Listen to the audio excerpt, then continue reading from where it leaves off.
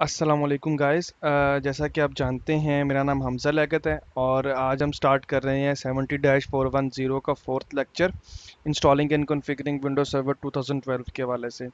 और आज के लेक्चर में हम पढ़ेंगे कुछ बेसिक हम पढ़ेंगे कमांड लाइन के थ्रू हम कुछ basic task A D D S के हवाले से करेंगे एक्टिव डायरेक्टरी के अंदर।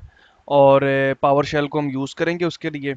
जैसा कि आपने अगर मेरा पिछला लेक्चर फॉलो किया होगा तो आपको ये पता होगा कि हमने पिछले लेक्चर में एक्टिव डायरेक्टरी में कोई यूज़र बनाए थे कंप्यूटर्स बनाए थे ओ बनाए थे। तो अब हम क्या करेंगे, अब हम उन्हीं चीज़ों को रिपीट करेंगे पावर शेल के थ्रू कि कमांड लाइन से अगर वो आपको वो चीज़ें बल्क में करनी हो, ज़्यादा यूज़र्स आपने बनाने हों, ज़्यादा ओ बनाने हों रैपिडली अगर आपने काम करना है इन चीज़ों पे तो आप वो बजाय इसके कि जी यू आई बेस पे करें, आप पावर शेल के ज़रिए कैसे कर सकते हैं? सो एक्चुअली पावर शेल जो है पावर शेल माइक्रोसॉफ्ट ने एक नया कमांड लाइन टूल दिया है, ठीक है? और ये टूल आपका विंडो सर्वर 2012 में अवेलेबल होता है। और ये जो नॉर्मल कमांड लाइन होती है आपकी, जिसे सी एम डी भी बोलते हैं या कमांड प्रॉम्प्ट भी बोलते हैं कुछ ऐसी कमांड्स हैं जो मतलब जो पावर शेल की कमांड है, वो सी एम डी के ऊपर नहीं चलती तो उसके लिए आपको पावर शेल पे ही वो कमांड चलानी पड़ती है। और पावर शेल का फ़ायदा ये है कि ये एक न्यू है न्यू डिज़ाइन किया गया है इसको। ख़ास तौर पे एडमिनिस्ट्रेटर्स के लिए जो कमांड लाइन के ज़रिए काम करना चाहते हैं ताकि वो रैपिडली काम करें, या कुछ ऐसी स्क्रिप्ट उन्होंने लिखी है जो अपने वो एग्जिस्टिंग इंफ्रास्ट्रक्चर में उस जो स्क्रिप्ट है वो डेली बेसिस पे या किसी तरह वो चलाना चाहते हैं। फॉर एग्जांपल आपके पास मल्टीपल यूज़र्स हैं हंड्रेड ऑफ़ यूज़र्स आप एक नया सेटअप बना रहे हैं तो आपको हंड्रेड यूज़र बनाने हैं। लिस्ट आपको दे दी गई है तो बजाय इसके कि आप एक एक यूज़र बनाएँ, आप उस सारी लिस्ट को पावर शेल के ज़रिए ऑटोमेट करके स्क्रिप्ट बना के किसी तरह आप उसको पावर शेल के ज़रिए आप उन जो यूज़र्स हैं, आप उनको स्पीड में बना सकते हैं, ठीक है? सबसे, मैं अभी आपको बेसिक आइडिया देता हूँ कि पावर शेल एक्चुअली है क्या। पावर शेल जो है, ये माइक्रोसॉफ्ट का अपना फीचर है सॉरी कमांड लाइन है माइक्रोसॉफ्ट की। कमांड लाइन प्रॉम्प्ट है और ये. डॉट नेट फ्रेमवर्क के ऊपर बनाया गया है, ठीक है? और ये करता क्या है, ये Windows power shell is a task based command line shell and script language ठीक है? ये कमांड बेस्ड जो टूल है, वो है और ये जो स्क्रिप्टिंग लैंग्वेज होती है, उस पर बना गया और ये स्पेशली इसलिए डिज़ाइन किया गया है कि जो एडमिनिस्ट्रेटर्स हैं या पावर यूज़र हैं, वो रैपिडली ऑटोमेट कर सकें और एडमिनिस्ट्रेशन को डिफरेंट टास्क परफॉर्म कर सकें डिफरेंट चीज़ें ऐड कर सकें, ठीक है? और इसकी अगर आप स्टैंडर्ड कमांड लाइन शेल का अगर आप मतलब अगर आप बात करें पावर शेल को अंडरस्टैंड करने की तो आपके पास जो कमांड लाइन जो शेल होता है मतलब अगर आप कमांड लाइन अगर आपने कभी यूज़ किया हो सीएमडी के ऊपर स्टैंडर्ड का जो कमांड लाइन होता है, ठीक है? ये उसको अपने अंदर कवर कर लेता है, ठीक है? बहुत सी ऐसी चीज़ें हैं जो कमांड लाइन पे आप कवर नहीं कर सकते। कुछ ऐसी कमांड्स हैं जो कमांड लाइन पे आप नहीं चला सकते। कुछ ऐसी जो मल्टीपल स्क्रिप्ट्स होती हैं, वो आप नहीं चला सकते तो आप पावर शेल के ज़रिए वो स्क्रिप्ट चला सकते हैं।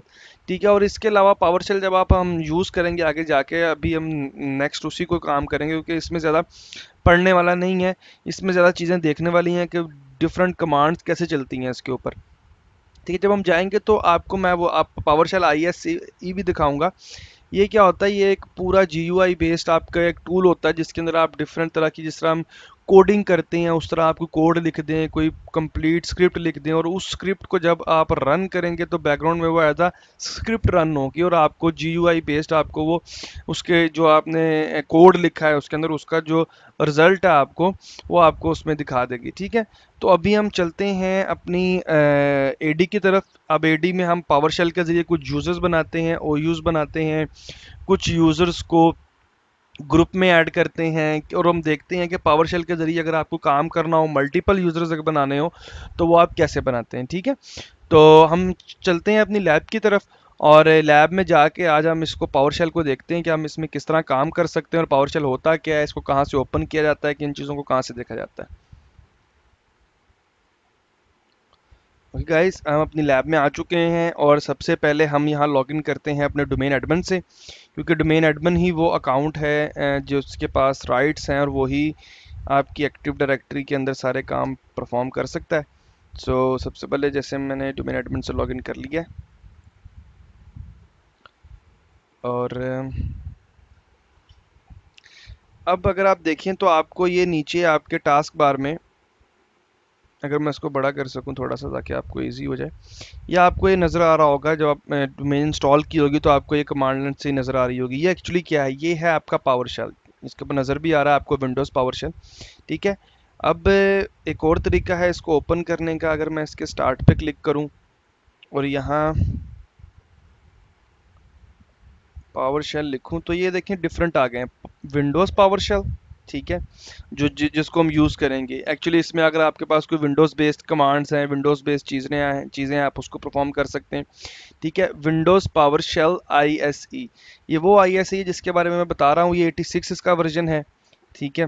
और ये 64 बिट है। इसी तरह पावर शेल का ये 64 बिट वर्जन है। ये 86 बिट बिट वर्जन है।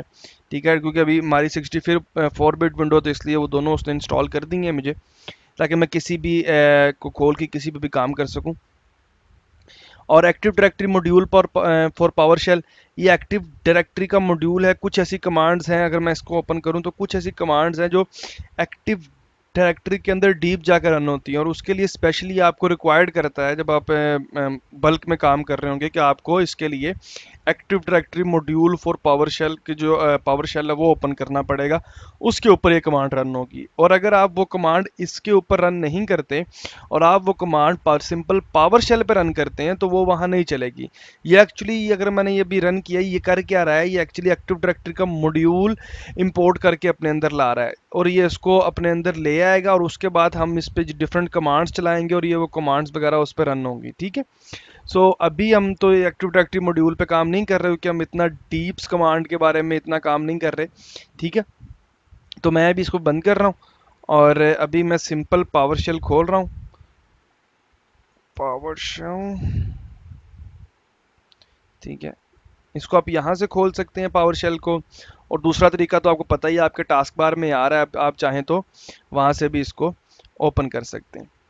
अब देखें अगर मैं इसको थोड़ा सा इधर कर दूँ। सो so, अब आप देखेंगे कि मैं आप आप लोग ये समझ रहे होंगे कि ये सिंपल जो कमांड प्रॉम्प्ट है बिल्कुल वैसा ही है तो आप बिल्कुल सही समझ रहे हैं कि बिल्कुल कमांड प्रॉम्प्ट की तरह है ठीक है? कोई इसमें ऐसा कोई डिफरेंस नहीं है बस फ़र्क ये है कि इसके ऊपर आप ज़रा डीप कमांड्स को चला सकते हैं जो नॉर्मल पहले कमांड प्रॉम्प्ट में मुमकिन नहीं थी और बहुत सी जो स्क्रिप्ट्स हैं वो आप बना सकते हैं इसके आईएससी वर्जन में और उन स्क्रिप्ट्स को भी आप इससे रन कर सकते हैं ठीक है? सो so, अभी हम क्या करेंगे? अभी हम करते हैं। सबसे पहले मैं कुछ बेसिक कमांड चला के आपको दिखाता हूँ ताकि आपको आइडिया हो। फॉर एग्जांपल जैसे हमारे पास बेसिक कमांड होती है एक होस्ट नेम की। ठीक है ये आप सी एम डी पे भी चलाएँगे तब भी ये कमांड चलेगी। सी एम डी से मुराद मेरा कमांड प्रॉम्प्ट है वो भी इसके अंदर होगा। ठीक है कमांड प्रॉम्प्ट तो हमेशा रहता है इसके अंदर। कमांड प्रॉम्प्ट कहीं नहीं जाता। जैसे ये ओपन हो गया। और मैं इसके ऊपर भी होस्ट नेम चलाऊँगा तो ज़ाहरी बात है वो रिजॉल्व करेगा उसको। और वही मतलब देखें ये ये नहीं है कि कोई कमांड बिल्कुल फ़र्क है, जो कमांड मैं सी एम डी पर चला सकता हूँ पावर शेल पर नहीं चला सकता, मैं बिल्कुल वो चला सकता हूँ, लेकिन पावर शेल की कमांड सी एम डी पर बहुत मुश्किल चलती हैं, बल्कि नहीं चलती, ठीक है? पावर शेल की कमांड सी एम डी पर नहीं चलती सी एम डी की कमांड काफ़ी हद तक पावर शेल पर चल जाती हैं, ठीक है? तो हम काम कर रहे हैं पावर शेल पर तो हमारा फोकस पावर शेल ही रहेगा। तो अभी अगर मैं आपको दिखा सकूँ इसके अंदर। जैसे इस मैंने हाउस नेम किया आईपी कॉन्फ़िग करूँगा तो ये मुझे आईपी दे देगा इसका। ठीक है, अभी मैं सीएलएस करके इसकी जो स्क्रीन है, उसको क्लियर कर देता हूँ। अब सबसे पहले क्या करते हैं फॉर अभी हम, मैं आपको एक एक्टिव डायरेक्टरी का व्यू दिखा देता हूँ इसके अंदर।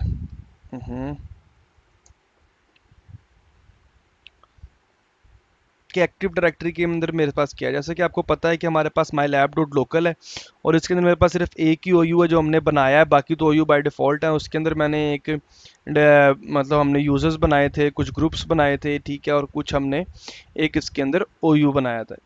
ओके? सो अब हम क्या करेंगे? अब हम इसके ज़रिए ओ यू बनाएँगे कमांड प्रॉम्प्ट के ज़रिए और फिर यूज़र्स बनाएँगे, ठीक है? यूज़र्स बनाएँगे ओ यू बनाएँगे और फिर हम देखते हैं कि हम उसके साथ क्या कर सकते हैं। सबसे पहले अब हमें चाहिए ओ यू क्योंकि हम ओ यू बनाएँगे और उसके अंदर यूज़र बनाएँगे। तो ओ यू बनाने की जो कमांड है, वो है न्यू अगर आप न्यू लिखेंगे और टैब दबाते जाएँगे तो ये देखें डिफरेंट लिस्ट ऑफ़ कमांड्स आपको ये दिखाता जाएगा। ठीक है? आपने क्या करना है? New AD group new AD organisational unit जैसे पीछे आया था। ठीक है, मैं करता हूँ, मुझे ऑर्गेनाइजेशनल यूनिट चाहिए तो मैं ओ लिखूँगा। और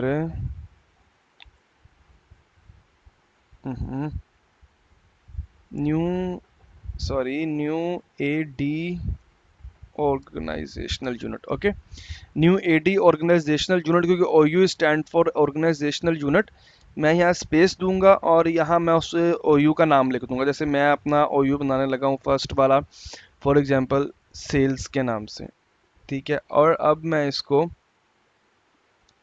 एंटर करूँगा। जैसे मैंने एंटर किया है तो उसने मुझे एक सक्सेस एक वो इंपोर्ट करता हुआ आपको दिखा दिया है। अब मैं फॉर एग्जांपल अपनी एक्टिव डायरेक्टरी के अंदर जाता हूँ। तो अब अगर मैं इसको हम्म, बंद करके ऑन करूँ तो ये सेल्स के नाम का आपको एक ओयू नज़र आ रहा है जो इसने सेल्स का ओयू बना दिया है, ठीक है? अब फॉर एग्ज़ाम्पल मुझे सेल्स के ओयू के अंदर एक और ओयू बनाना है, या मुझे कोई ऐसा ओयू बनाना है जो चाइल्ड ओयू है किसी का, या मुझे किसी ओयू के अंदर ओयू बनाना है तो मैं वही कमांड लिखूँगा new A D organisational unit organisational unit मैंने लिख दिया ठीक है, और यहाँ मैं इसका नाम दे दूँगा। फॉर एग्ज़ाम्पल सिटी सेल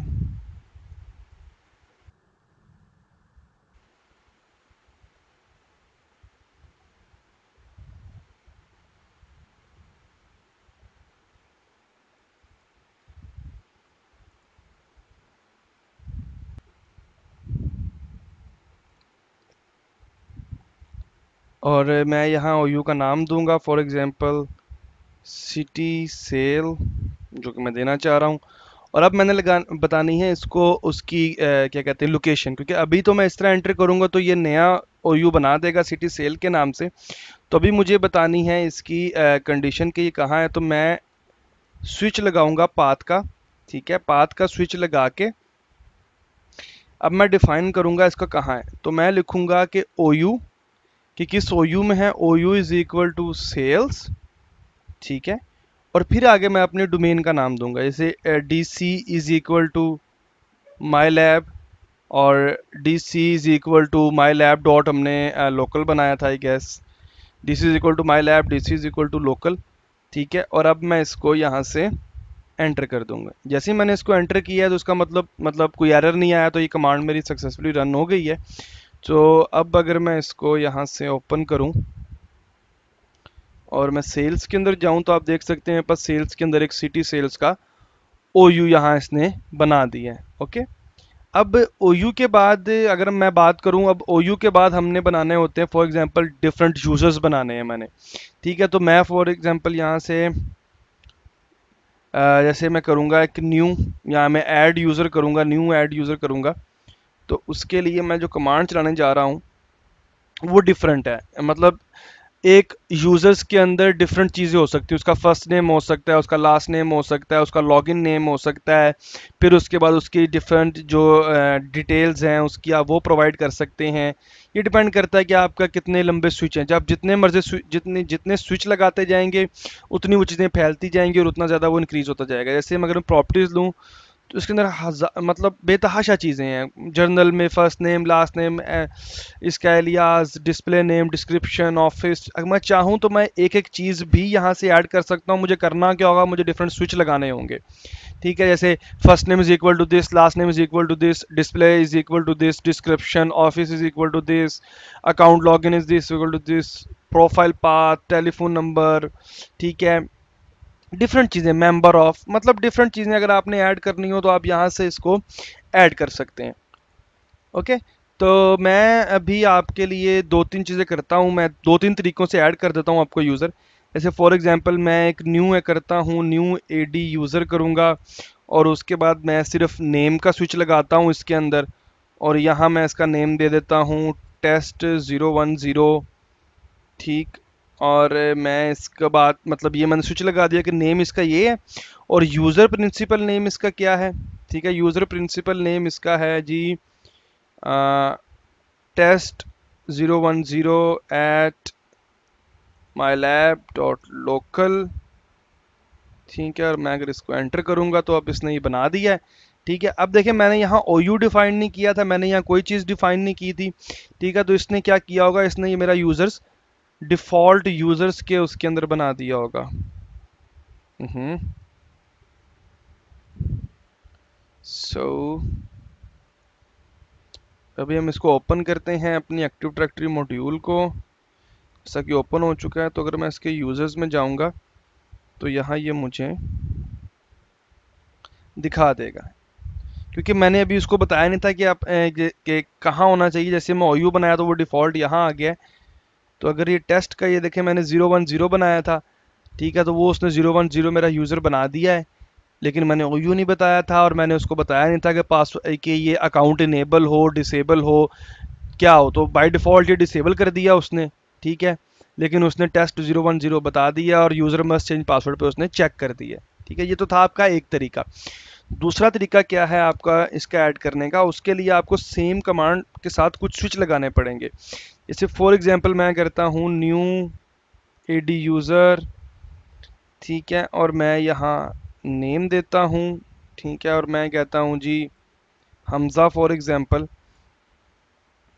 और मैं यहाँ स्विच लगाता हूँ यूज़र प्रिंसिपल नेम का, ठीक है यूज़र प्रिंसिपल नेम का स्विच लगाता हूँ, और इसके बाद मैं नेक्स्ट क्या करूँगा, मैं मतलब फॉर यूज़र प्रिंसिपल नेम मैं करूँगा जी Hamza at my lab dot local ठीक है, और मैं गिवन नेम का स्विच लगाता हूँ कि इसका जो नेम होगा, ठीक है, जैसे फ़र्स्ट नेम लास्ट नेम इसका जो नेम क्या होगा, वो होगा जी राना हमज़ा फॉर एग्ज़ाम्पल या हम इसको हमज़ा लियाकत कर लेते हैं। गिवन नेम, ठीक है, और सर नेम में मैं फॉर एग्ज़ाम्पल इसको राना कर देता हूँ, ठीक है, क्योंकि अभी मैं ये इसको नहीं वो राना कर देता हूँ इसको मैं, और इसके बाद में आगे सर नेम के बाद डिस्प्ले नेम में चले जाता हूँ, कि इसका जो नेम डिस्प्ले होगा, वो क्या होगा, ठीक है, उसके लिए मैं डिस्प्ले नेम का स्विच लगाऊँगा डिस्प्ले नेम मेरा फॉर एग्जांपल हमज़ा लियाकत ही होना चाहिए, जो नेम मेरा डिस्प्ले हो, ठीक है? और अब मैं बताऊँगा इसको पाथ किसका पाथ क्या है कि मुझे कहाँ रखना है इसको?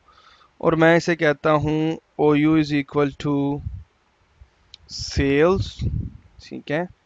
D C is equal to my lab D C is equal to local कि मैं कहता हूँ सेल्स के अंदर कि जो ये है, उसको ये बना दो, ठीक है? और उसके बाद हमने अब इसका करना है पासवर्ड रीसेट का, कि पासवर्ड क्या हो इसका ठीक है? और डिफरेंट चीज़ें क्या हो। उसके लिए मैं क्या करूँगा, मैं स्विच लगाता हूँ इसका अकाउंट पासवर्ड का।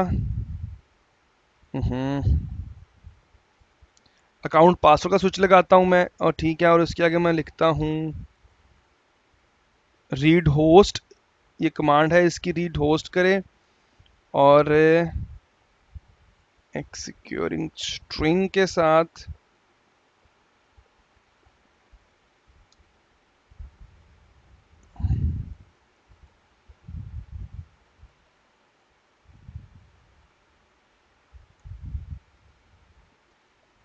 ये मैं लगाना भूल गया इसका। किधर गया? बल्कि ये लगा हुआ है। रीड पासवर्ड अकाउंट स्ट्रिंग्स इसके साथ और अब मैं एंड पे लगाऊँगा इसका। पास थ्रू का स्विच और इसके बाद मैं यहाँ इसको बता दूँगा कि इनेबल एडी अकाउंट कर दे कि ये जो अकाउंट है इसको एंड पे ये चीज़ें सेट करके इनेबल कर दे। तो कमांड ये बहुत लंबी है इसलिए आप इसको रीड कर लें। आ, क्योंकि ये बहुत सी, ये ये कमांड्स कभी भी आपको याद नहीं रह सकती। ये कमांड आप मतलब मैं भी अगर मुझे किसी कमांड की ज़रूरत है तो मैं गूगल करता हूँ, उस, उससे रेलिवेंट कमांड लेके आता हूँ रेलिवेंट कमांड को थोड़ा सा एडिट करके उसको यूज़ कर लेता हूँ। जैसे मैंने यहाँ इसको, ये नहीं दिया तो ये एरर आ जाता। और यूज़र प्रिंसिपल नेम यहाँ मैंने ठीक है given name Hamza Liaquat okay और surname Rana display name ये ये ये पाथ एंटर करता हूँ इसको मैं, अभी मुझसे पासवर्ड मांग रहा है कि पासवर्ड क्या रखना है आपने? फॉर एग्जांपल मैं इसका पासवर्ड रख देता हूँ ये। तो क्या कह रहा जी न्यू एडी यूज़र पैरामीटर के not found user principal name के साथ एन मैंने लगाया हुआ है कहीं। गलती से। हम्म। ये ये मैंने यहाँ गलती से ये चीज़ की हुई है। तो मैंने पासवर्ड दिया तो अब इसने क्या किया मेरा यूज़र क्रिएट कर दिया होगा इसी पासवर्ड के साथ। तो अगर मैं अपनी एडी में जाऊँ और यहाँ मैं देखूँ सेल्स के अंदर तो ये देखिए हमज़ा के नाम से यूज़र आ चुका है मेरा। First name Hamza Liaquat last name Rana उसने कर दिया डिस्प्ले नेम हमज़ा लियाकत जो हमने उसे बताया था। ठीक है? एड्रेस में अकाउंट में Hamza at my lab dot local मैंने उसे यही कहा था करने को। और यहाँ उसने वो जो मेरा पासवर्ड है वो रिसेट कर सॉरी वो सेट कर दिया। अब इस यूज़र से मैं इसको लॉग इन कर सकता हूँ ओके सो so, इसी तरह जैसे मैंने अभी यूज़र बनाया है अब क्या करेंगे हम? हम एक हम एक ग्रुप बनाते हैं ठीक है? अब हम वो ग्रुप क्यों बनाएँगे? वो ग्रुप हम इसलिए बनाते हैं कि फिर हम उस ग्रुप में मेंबर भी ऐड करेंगे ठीक है? तो सबसे पहले ग्रुप के लिए भी सेम कमांड्स हैं। सिंपल हैं, आप न्यू ए डी ग्रुप लिखें। New dash A D group space दें, आप उसका नेम बताएँ इसको। फॉर एग्ज़ाम्पल फाइनेंस यहाँ मतलब सेल्स के नाम से ही कर देते हैं हम। सेल्स ग्रुप ठीक है सेल्स ग्रुप कर दिया। ठीक है, और अब होता है ग्रुप का स्कोप जैसा कि मैंने आपको बताया था ग्रुप का स्कोप डिफरेंट हो सकते हैं तो मैं इसका रख रहा हूँ ग्लोबल अच्छा सबसे यदि चीज़ है आप लेकिन किस तरह स्पीड आप ये टैब यूज़ कर सकते हैं। अगर आपको कोई कमांड नहीं भी याद, जैसे मुझे सिर्फ़ इतना याद है ग्रुप तो मैं ये देखिए टैब से दो चीज़ें निकाल सकता हूँ कैटेगरी या स्कोप स्कोप है। अब तीन स्कोप होते हैं, अगर मैं जी लिख के ग्लोबल कर दूँगा तो ग्लोबल हो जाएगा। और अगर यू लिख के यूनिवर्सल कर सकता हूँ इसको, मैं तो पूरा लिखने की ज़रूरत नहीं है। आप कुछ एक वर्ड लिख के उसको टैब दबा के आप उस अपने जो जो चीज़, जहाँ अपने को पहुँचना है, जैसे मैंने वहाँ आप जा सकते हैं, जैसे मैंने स्विच डैश लगा के पी दबाया और मैं ये तो टैब हूँ तो पाथ आ गया मेरे पास और मुझे पाथ ही लिखना है। हाँ ये चीज़ जो है O U is equal to ये आपको खुद लिखनी पड़ती है। O U is equal to अब मेरा क्या है? अब मैंने इसे कहाँ रखना है? सेल्स में रखना है। सेल्स में और D C is equal to मेरा माई लैब है और D C is equal to local है मेरा। ठीक है, और मैं अब इसको एंटर करूँगा। तो ये मेरा ग्रुप यहाँ बना देगा। जैसे आप देख सकते हैं सेल्स का इसने ग्रुप बना दिया है। ग्लोबल मैंने उसे बताया था, उसने उसको ग्लोबल कर दिया है। ठीक है ग्रुप टाइप मैंने भी बताई नहीं थी तो उसने उसको सिक्योरिटी कर दिया। अगर मैं उस डिस्ट्रीब्यूटेड बताता तो उसको डिस्ट्रीब्यूट कर देता। ओके okay, तो अब हमने जैसे ग्रुप बना लिया अब मुझे इस ग्रुप के अंदर मेंबर्स ऐड करने हैं तो वो मेंबर्स मैं इस पावर शेल से नहीं कर सकता। अगर मुझे इस पावर शेल से वो करने हैं तो मुझे सबसे पहले उसका वो इंपोर्ट मॉड्यूल करना पड़ेगा एक्टिव डायरेक्टरी का। ठीक है इंपोर्ट मॉड्यूल करना पड़ेगा। या मेरे पास दूसरा हल ये है कि मैं यहाँ से जाके पावर शेल ही है वो एक्टिव डायरेक्टरी मॉड्यूल वाला ओपन कर लेता हूँ। इससे क्या होगा कि वो पहले से वो जो मेरा एक्टिव डायरेक्टरी का वो है मॉड्यूल उसको इंपोर्ट किया होगा इसने पावर शेल ने। तो मेरे लिए बड़ा इजी रहेगा कि मैं बजाय इसके कि एक एक चीज़ को खुद इंपोर्ट सॉरी एक्टिव डायरेक्टरी को खुद इंपोर्ट करूँ। तो वो मैं यहाँ से कर सकता हूँ उसको। सर्च करने में क्यों मसला हो रहा है भाई? हाँ ये आ गया मेरे पास और यहाँ मेरे पास ये active directory module for active directory आ गया। अच्छा इसके ऊपर अब कमांड्स जो हैं वो अब एक्टिव डायरेक्टरी के हम डीप चले गए हैं ग्रुप की मेंबरशिप में चले गए हैं। या हमने लिस्ट ऑफ़ मेंबरशिप लेके आनी है कि ग्रुप में कितने यूज़र हैं ठीक है? सो so, इसकी कमांड क्या होती है? इसकी कमांड ये होती है गेट की क्योंकि हम गेट कर रहे हैं ठीक है? और ग्रुप की बात कर रहे हैं हम तो यहाँ भी जैसे मैं टैब दबाता जा रहा हूँ मेरे पास डिफरेंट्स कमांड वो आती जा रही हैं। तो बजाय इसके कि मैं पूरी लिखूँ, यहाँ मैं, यहाँ जो मैंने कॉपी की हुई है अपनी सॉरी नोटपैड में लिख के, वो कमांड यहाँ पेस्ट करता हूँ। और यहाँ जो ग्रुप नेम मैंने लिखा है, यहाँ मैं अपने ग्रुप का नाम देता हूँ। जैसे फॉर एग्जांपल मेरे पास एक डोमेन एडमंस का ग्रुप होता है बाय डिफ़ॉल्ट मैं उसको करता हूँ। तो ये देखिए मुझे बता रहा है कि डोमेन एडमंस के अंदर मेरा एडमिनिस्ट्रेटर का जो है, वो ऐड है, ठीक है? यूज़र एडमिनिस्ट्रेटर ऐड है। अब इसी तरह जैसे हमने आपको याद होगा कि कुछ ग्रुप बनाए थे हम उनको देख लेते हैं। एच आर के अंदर मेरे ख्याल में हमने बनाया था कि एच आर का और नॉन एच आर का। तो मैं अगर यहाँ एच आर लिख दूँ तो ये देखिए इसने मुझे बता दिया कि एच आर के अंदर टॉम है और बैटमैन है ठीक है? और अगर मैं यहाँ नॉन एच आर लिख दूँ तो ये मुझे बता देगा कि नॉन एच आर के अंदर कौन कौन सा मेंबर है। सो so, अब हमने क्या करना है, इसे हमने पहले गट कर लिया। अब हमने एक नया ग्रुप सॉरी एग्जिस्टिंग ग्रुप में हमने अपने उनको जो मेंबर्स हैं, उनको ऐड करना है, ठीक है? तो उसके लिए क्या करना है, मैं फॉर एग्जांपल ऐड करूँगा और एडी एडी का मेरा जो ग्रुप है, उसको मतलब मुझे ऐड करना है तो मैं ये कमांड देता हूँ यहाँ। तो मैंने की हुई है ऐड एडी ग्रुप मेंबर के एडी के जो ग्रुप हैं, वो मेंबर्स हैं. आइडेंटिटी क्या है? ग्रुप नेम कौन सा है मेरा? जो कि मैं पहले आपको बता चुका हूँ, हमारे केस में वो सेल्स क्या था? सेल्स ग्रुप था आई गेस सेल्स ग्रुप था और इसके मेंबर्स कौन से हैं? इसके मेंबर्स मेरे पास हमज़ा है, ठीक है. मैंने हमज़ा को ऐड कर दिया. इसी तरह मैं हमज़ा को एच आर में ऐड कर देता हूँ. हमज़ा को मैं नॉन एच आर में ऐड कर देता हूँ। हम्म। ठीक है, वैसे मैंने ये चला दी हैं कमांड्स और अब हम क्या करते हैं एक्टिव डायरेक्टरी में जाते हैं। और अगर यहीं से हम वो कर लें अपनी जो गेट वाली कमांड है हमारे पास, वो अगर हम चला लें, ठीक है तो हमारे पास ये हमारा आ जाएगा गेट और यहाँ अगर मैं लिखता हूँ एच आर तो अब मेरे पास वो हमज़ा का भी आ जाएगा इसके अंदर। जैसे आप ये देख सकते हैं, इसी तरह अगर मैं नॉन एच आर करूँगा तो मेरे पास हमज़ा फिर आ जाएगा। और अगर इसी तरह मैं सेल्स ग्रुप करूँगा तो सेल्स ग्रुप के अंदर जितने यूज़र हैं, वो आ जाएँगे। अगर मैं वैसे देखना चाहें जी यू आई बेस्ड पे तो आप डी एस करके जो कि शॉर्टकट है एक्टिव डायरेक्टरी का, आप उसको ओपन कर सकते हैं और वहाँ जाके आप उसके मेंबर्स को देख सकते हैं, जैसा कि हम अभी देखते हैं। और मैं इसको बंद कर रहा हूँ कि मुझे अब इसकी ज़रूरत नहीं है। और इसको भी क्लियर कर दें थोड़ा सा इसे सेल्स के अंदर मेरे पास ये हमज़ा है। अगर मैं हमज़ा के हमज़ा देखता हूँ कि किस किस का मेंबर है ठीक है तो ये मुझे मेंबर्स दिखाएगा डिफरेंट ग्रुप के मेंबर ऑफ़ मैंने ऐड किया था एचआर के अंदर डोमेन यूज़र में बाय डिफ़ॉल्ट होता है ये। एचआर के अंदर नॉन एचआर के अंदर सेल्स के अंदर।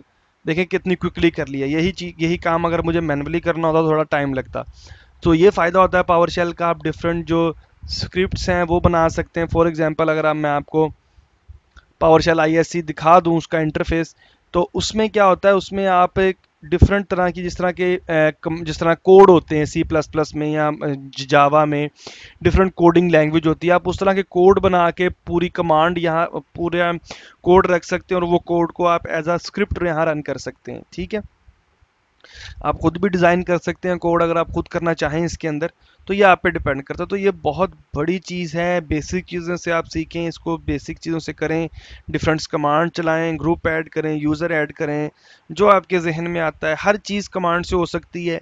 बस आप, आपको उसके लिए राइट कमांड चाहिए। अगर आपको कमांड आपके पास है, अगर आप इंटरनेट पे ढूंढें, आपको वो मिल जाएगी। मैं भी यूजली इंटरनेट पे देख रहा होता हूँ कमांड जो मुझे कमांड चाहिए होती है, वो मैं इंटरनेट पे देख लेता हूँ, ढूंढ लेता हूँ और उसको मैं रन कर देता हूँ। ठीक है? सो so, ये ज़रूरी नहीं है कमांड आपको याद होनी चाहिए या कमांड्स या आपको बहुत इस पर होना चाहिए। तो कमांड्स मिल जाती हैं बस बेसिक आपको आइडिया होना चाहिए कमांड चलती कैसे हैं स्विच क्या होते हैं चीज़ें कैसे जैसे मैंने स्विच लगाए जैसे ए डी ए डी का बना रहा तो मैंने फ़र्स्ट नेम का स्विच लगाया लास्ट नेम का स्विच लगाया पासवर्ड का स्विच लगाया डिफरेंट स्विच जैसा कि आप देख रहे होंगे कि ये आपके पास ओपन आ रहा है ठीक है? अब या आप यहाँ चाहें तो कमांड ये भी आपके पास देखें पूरी लिस्ट आ रही है यहाँ कमांड्स की। ठीक है? आप यहाँ से अगर देखना चाहें ठीक है तो आप यहाँ से कुछ लिख सकते हैं। ऐड की कमांड्स हैं गेट की कमांड्स हैं, आप यहाँ से सर्च कर सकते हैं गेट की कमांड्स गेट एडी यूज़र या एडी ग्रुप मेंबर ठीक है, अगर आप ए डी ग्रुप करेंगे इंसर्ट कर देंगे इधर और इसको आप यहाँ से एंटर कर देंगे। तो मतलब यहाँ से डिफरेंट चीज़ें आप यहाँ से प्ले हो गई है ये कमांड सो ये लिस्ट ले आएगा डिफरेंट चीज़ों की और डिफरेंट इंफॉर्मेशन की, ये डिफरेंट चीज़ें आप इसको देख सकते हैं मेंबर्स ग्रुप मेंबर आप यहाँ से ले सकते हैं, इसका आप यहाँ से स्टॉप कर सकते हैं इसको, इस प्रोसेस को। तो ये पूरा आगे आपके पास टूल है, जो एक पूरी एडिटिंग के लिए आपके पास होता है बाई डिफ़ॉल्ट और आप डिफरेंट काम इसके अंदर कर सकते हैं और अपना काम जारी रख सकते हैं। ओके गाइस ये तो थी आपकी क्लास पावर शेल की कि पावर शेल में डिफरेंट कमांड्स हम कैसे चलाते हैं कैसे यूज़ करते हैं उनको एक्टिव डायरेक्टरी के हवाले से हमने इसको देखा। सो so, अपना ख्याल रखिएगा और हो सके तो इन कमांड्स को ख़ुद भी चलाइएगा कुछ अपना जहन भी चलाएँ डिफरेंट कमांड मिल जाएँगे। और मैं कोशिश करूँगा जो मैंने कमांड्स चलाई हैं उनको नोट में एक फ़ाइल बना के वो आपके साथ भी शेयर कर दी जाए जो इस वीडियो के डिस्क्रिप्शन में हम पेस्ट कर देंगे ताकि आप लोगों को डिफरेंट जगहों से ढूँढने की ज़रूरत ना पड़े। आपको बेसिक कमांड जो मैंने बनाई हैं, लिखी हैं अभी, वो आपको एटलीस्ट वहीं से मिल जाए। ओके गाइस नेक्स्ट लेक्चर तक अपना ख्याल रखिएगा। अल्लाह हाफिज़।